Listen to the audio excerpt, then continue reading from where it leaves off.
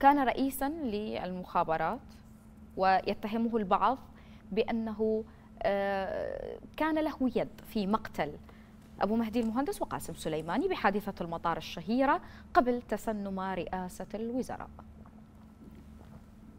أنا قلت لك شيء خل أقوله مو؟ عيدة؟ عيدة. سألتين.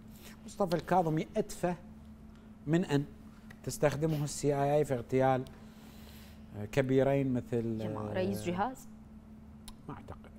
شخصيا شخصيا ما أعتقد.